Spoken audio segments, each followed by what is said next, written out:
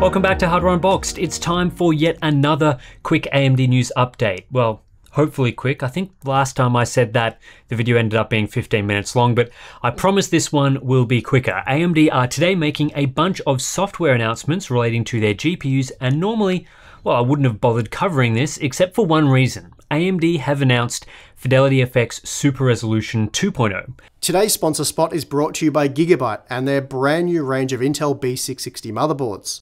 A particular favourite of ours is the B660M Aorus Pro AX, as this micro ATX board really does pack it all. A powerful VRM comprised of a dozen 60 amp power stages, complete with impressive looking and very effective aluminium heatsinks.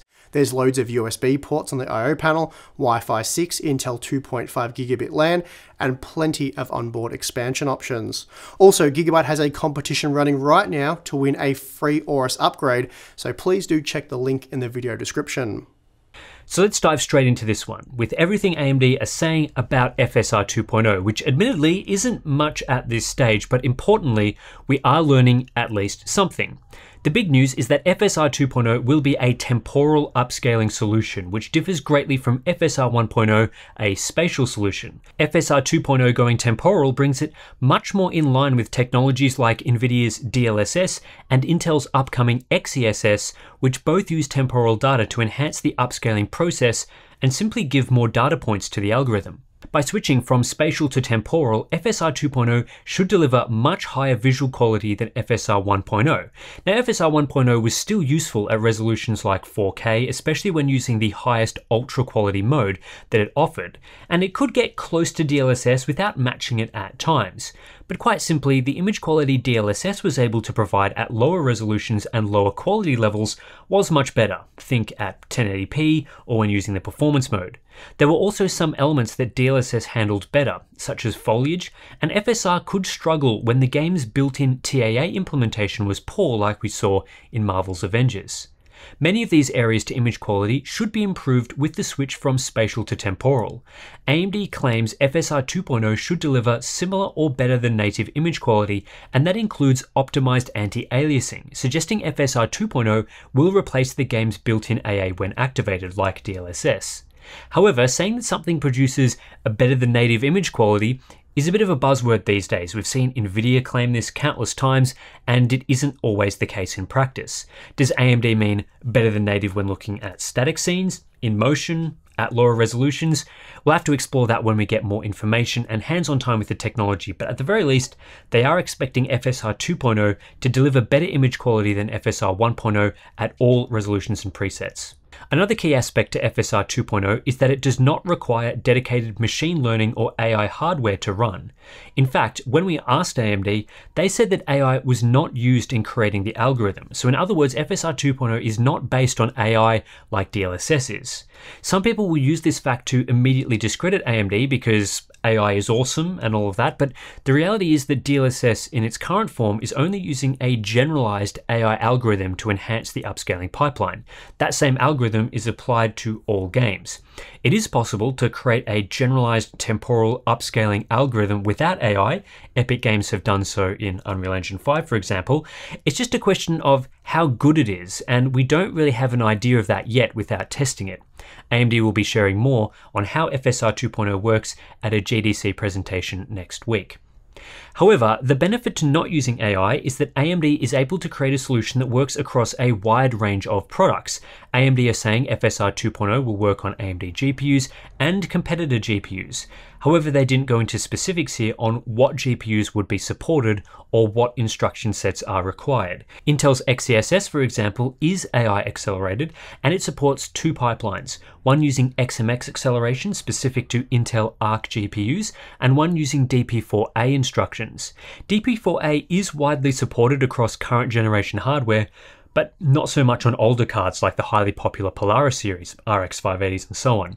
If AMD's solution is able to use an even more widely supported instruction set than DP4A, this would be a huge bonus for owners of older GPUs, but we'll have to hear more at GDC to see the specific requirements for FSR 2.0 and how it works.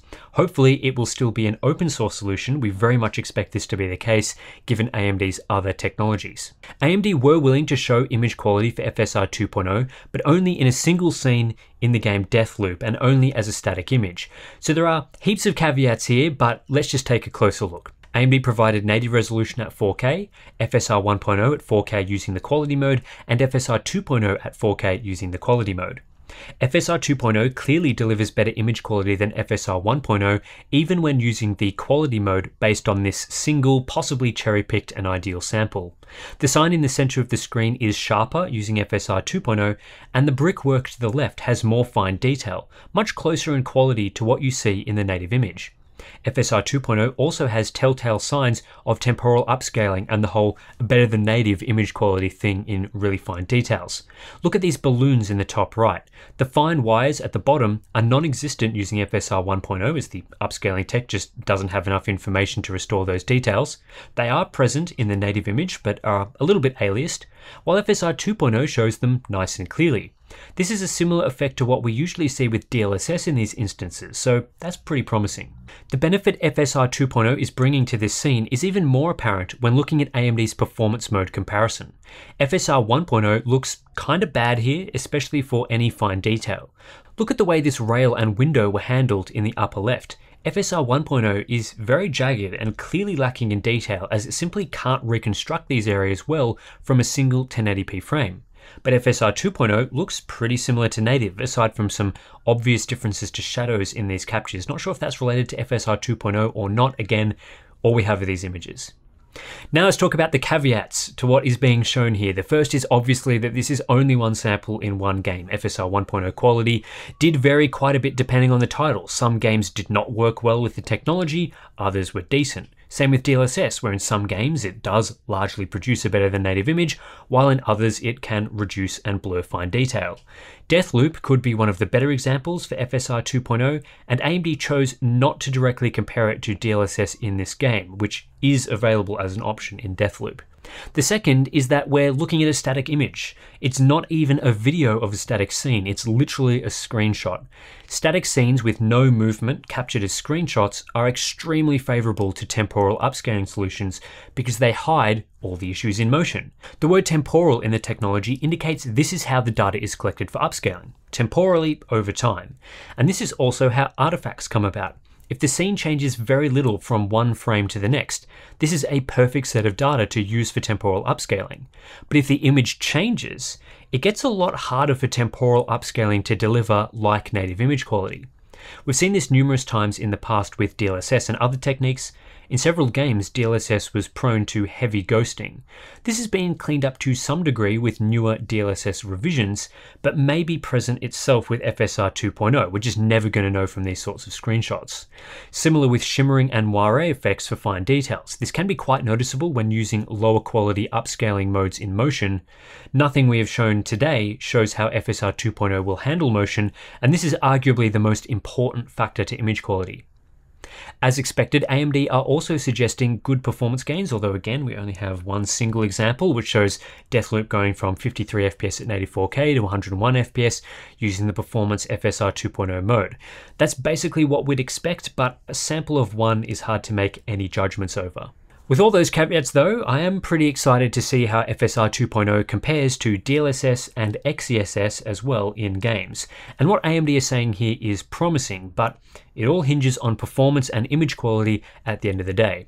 I'm also curious to see how a non-AI based approach can handle this problem, especially if going down this path allows it to work on a far greater range of hardware. So many questions and so little answers. Hopefully we'll learn a lot more at next week's GDC presentation ahead of a full release in Q2 2022. Okay, enough about FSR 2.0. I've probably analysed that one to death given the limited information we ended up with. Let's now talk about Radeon Super Resolution, which was first announced at CES 2022. Today, RSR will be available as part of AMD's new AMD Software Adrenalin Edition package, so you can download it and try it out for yourself, provided you have an RX 5000 series GPU or newer. Unfortunately, AMD aren't offering this feature for owners of their still very popular Polaris GPUs and older like the RX 580. I asked AMD whether there was a technical reason for this.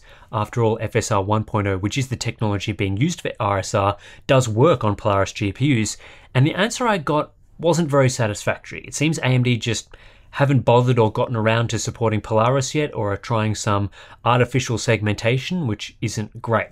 Hopefully, they do support older GPUs in the future, they didn't rule it out, but only RDNA cards and newer are supported at the moment. Anyway, Radeon Super Resolution is a driver-based implementation of FSR in the same vein as NVIDIA image upscaling, which we looked into at the end of last year. While FSR is an implementation in the game itself and is applied before the final effects and UI are rendered, RSR is applied to the entire game image and doesn't require developer integration. The trade-off here is RSR supports more games, basically any game, but at a lower image quality as it will upscale things like the UI, which ideally shouldn't be upscaled. AMD's RSR implementation does have maybe one advantage that NVIDIA image upscaling doesn't have. The big one is you can apply it on a per game basis within the driver settings. Bizarrely, NVIDIA didn't allow you to do that, making it clunky to only apply to certain titles. However, using RSR is still a multi-step process. First, you need to enable RSR in the driver, either globally or for the game you want to upscale. Then separately, you need to lower the game's output resolution in the game itself. In a perfect world, this would be a magic one click button like FSR, but this would be very difficult to get working across a wide range of titles. So, what AMD has attempted here is, I guess, all they could realistically do. We'll be testing RSR in a separate video coming soon. Originally, I was going to test it here in this video slot, but with the FSR 2.0 news, it's probably better off in its own video. So look out for performance and image quality analysis from us shortly. Those are the really big announcements AMD has for us today. The latest Radeon drivers do also include a few other neat features like now supporting image sharpening for media playback, updates to AMD Link, and so on. But RSR support now in the driver you can get right now, and FSR 2.0 coming soon are really the big stories today. So, anyway, that's it for this brief news update. Feels like I've been just covering AMD news at the moment. Previously, we had AMD's announcement of seven new CPUs coming in April. If you missed that announcement, that's out in the channel now for you to check out. We also had Threadripper Pro 5000 news last week. But yeah, I think that's it for the AMD news for now. We're now just waiting for some of these features and bits of hardware to be released so we can test it. Very excited for all that stuff. So definitely subscribe to our channel so that you don't miss anything. We also have our Patreon and Floatplane accounts if you want to support us directly and support independent hardware testing and analysis. Thanks for watching. I'll catch you in the next one.